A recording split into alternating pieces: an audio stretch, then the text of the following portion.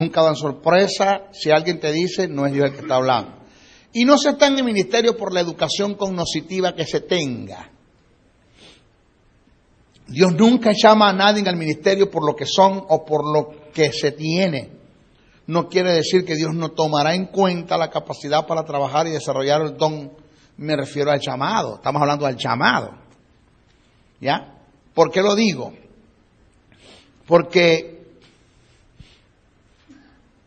eh, eh, no, Dios me llamó porque yo soy médico. No, no, no, no, no. Dios puede usar el conocimiento de la medicina para el llamado. No tengo problema con eso. Dios, Pablo dijo, maestro, Pablo dijo que todo lo que aprendió del mundo es basura. Pablo nunca dijo eso. tenga cuidado con lo que dice usted, ¿no? Pablo nunca dijo que todo lo que aprendió del mundo es basura. Lo que Pablo dijo que lo que aprendió del mundo comparado al conocimiento de Dios es basura. Pero lo que Pablo aprendió en el mundo fue lo que Dios usó para enfrentar a los atenienses bíblicamente hablando, para mí Pablo es uno de los es una cátedra. Para mí Pablo es uno de los hombres más preparados que Dios tuvo para, para, para esos tiempos. Pablo estudió bajo los, bajo los pies de un hombre llamado Gamaliel, la niña de la sabiduría. Estudió con las mismas tesis que estudió Moisés. Pablo fue hebreo por, por genealogía, porque Pablo era un gentil. Pablo era judío, Pablo era gentil.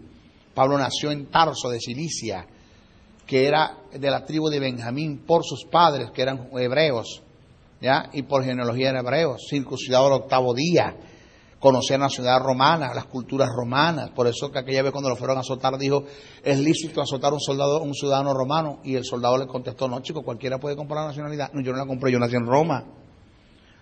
Pablo fue un hombre que, Pablo fue filósofo, fue sociólogo, Pablo fue abogado, Pablo era alguacil, representaba o Pablo ejecutaba las leyes del Cenedrín con grupos de soldados romanos. O sea que Pablo era un letrado, un hombre que conocía todo y por eso Dios lo mandó al Areópago. ¿Por qué? Para enfrentar a los atenienses, a los sabios, dicen nació Sócrates, Platón, Aristóteles, nacieron todos esos filósofos. Y cuando Pablo se fue al Areópago, Pablo le citó sus propias filosofías, Dios, como dicen vuestros propios filósofos, por el somos, por el estamos y por el vivimos. ¿Qué dijeron los filósofos? Padre, este hombre conoce nuestra filosofía, hay que escucharlo. Y lo escucharon por eso. Entonces, no estoy diciendo que Dios no puede usar el conocimiento que tengas cognoscitivamente hablando para ejercer el ministerio. Yo no estoy diciendo eso. Lo que estoy hablando es en cuanto al llamado. No te creas que Dios te llamó por lo que tú eres, porque a los vil del mundo escogió Dios para avergonzar al sabio. ¿Me oye bien? Ok. Entonces, tenemos el ejemplo de Moisés. Dios usó sus capacidades pero su llamado no, se fundamentó en eso. En el caso de Pablo, Dios usó su capacidad, pero su llamado no dependía de eso. Conozco de personas analfabetas que desarrollaron un ministerio muy grande, que de una forma u otra, en la medida de su capacidad, fueron usados por Dios, pero que antecedentemente tuvieron un llamado y una preparación de parte de Dios, pero fueron analfabetas, personas que totalmente, y Dios los usó grandemente.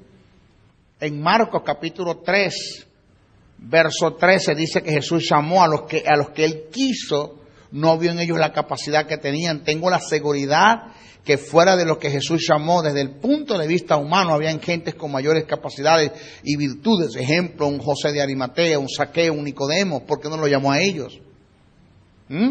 Mi pregunta es si el llamado es por lo que se, eh, por lo que es y por lo que se tiene desde el punto de vista positivo, porque Jesús no, no le eligió a ellos porque escogió a gentes con menores capacidades y virtudes? Mi respuesta es que el llamado que Dios hace no depende de la educación cognitiva que se tenga, sino de lo que Él en su designio quiso llamar. Así de sencillo. Ya, punto. Entonces, señores, ¿cuánto me falta el tiempo allá, hijo?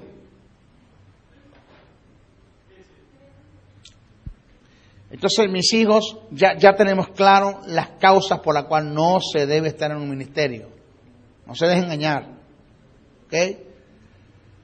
Si Dios te asigna y Dios escoge, ese es Dios quien lo hizo. Dios te, mire, yo le voy a decir algo.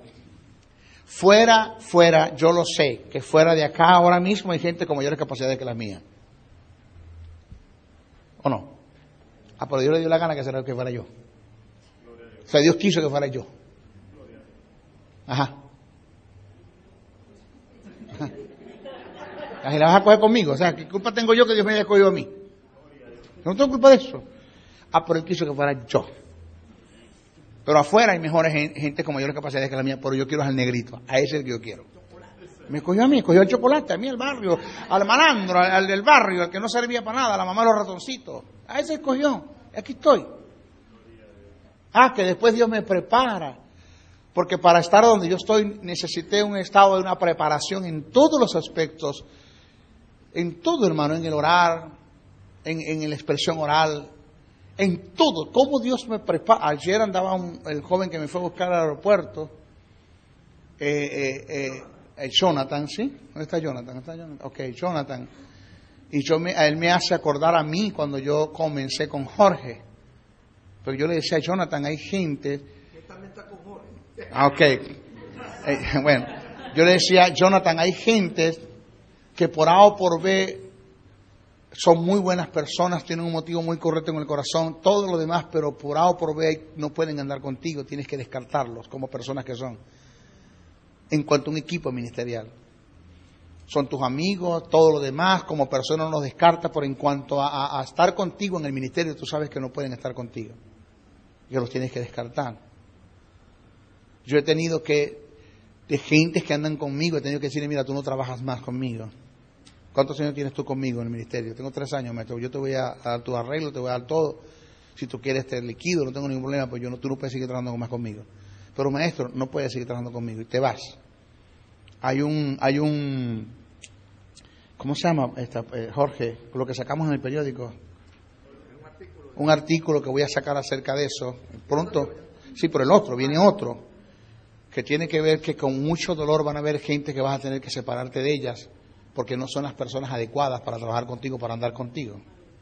Personas que tú sabes que tienes que dejarlas, que no puedes seguir con ellas porque no vas a poder crecer con ellas. Así de sencillo. Y ayer Jonathan conversando y andando conmigo hubo cositas que yo le corregí a él y que él humildemente aceptó. ¿Ya?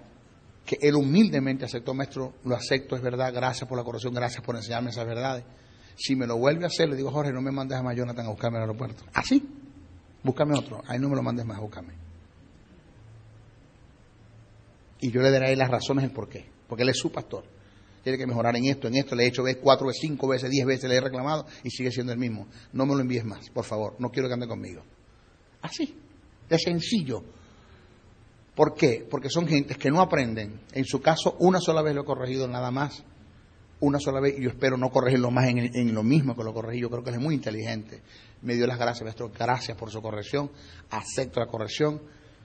Créame, maestro, que nunca más le voy a fallar en eso. Ese hombre no lo va para nadie en el crecimiento. Va para arriba. Si sigue así, va para arriba. No lo va para nadie. ¿Por qué? Porque aceptó la corrección, aceptó que es así, maestro, es verdad. Entonces, que, que yo tuve que aprender muchas cosas. Yo cometí mayores errores que los de él. pero, pero horrores garrafales cometí yo. Y conmigo trataron, conmigo me dieron, y hoy soy lo que soy por lo mismo, porque tuve que aprender a ser lo que soy ahora, pero yo no vengo aprendido del mundo. Pero con toda la torpeza y el estado de delincuencia en el que yo estaba, Dios puso sus ojos para escogerme para el ministerio. Dios no buscó gente brillante. No, voy a buscar los magnates, voy a buscar los, los reyes, los verdugos, los que, los que saben hablar. No, Dios buscó un torpe para enseñarlo a hablar. Buscó uno que no sabía vestir para enseñarlo a vestir. O sea, Dios siempre prepara y capacita. Así es Dios, este es Dios. ¿Ok? Bueno, vamos a dejarlo hasta allí para después comenzar la otra clase acerca de lo que son las tres etapas del ministerio. Bendiciones, bendiciones.